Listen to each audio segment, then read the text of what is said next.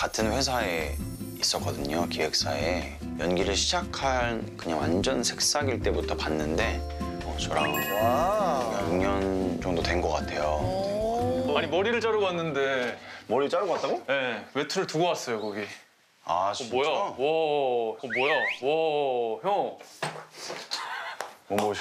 너무 촬영 끝난 기념으로 형 접시가 너무 화려한 거 아니에요? 접시가 너무 화려한 거 아니에요? 이- 이것만 이거 두 개만 좀 넣어주세요. 저 손 좀 씻고 오게.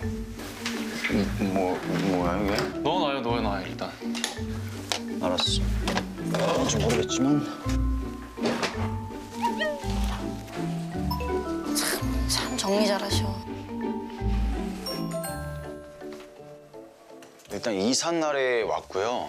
그때부터 자기 집처럼 드나들기 시작하더니 아, 너무 자주 와서 그리고 저는 또 손님이 오면은 침대가 협소하다 보니까 바닥에서 제가 자고 침대를 내주거든요. 아, 진짜? 저기 안에서 보는데 이게 얘 집이야 내 집이야 그러니까. 월세를 네가 내야 될 것 같은데 약간 그런 생각이 좀 들어요. 농담으로. 뭐 마실래? 맥주 줄까? 어제 속초에서 끝난 거야? 네, 속초 막찰. 할만했어? 네. 오.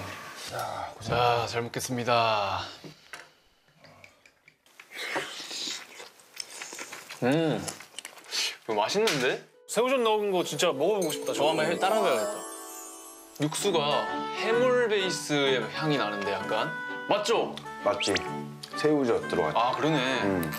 그래, 그래, 그래, 그래. 아, 새우젓 때문에. 너무 좋은 레시피야. 음, 한국인의 입맛에 맞게 하셨네. 맥칼, 맵고 칼칼.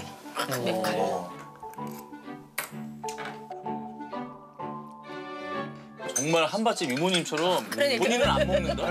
그래서 정말 한마침 이모들은 술밖에 안 마셔. 그렇지. 먹어, 먹어. 어, 먹어. 나 맨날 먹는 거예요. Friday.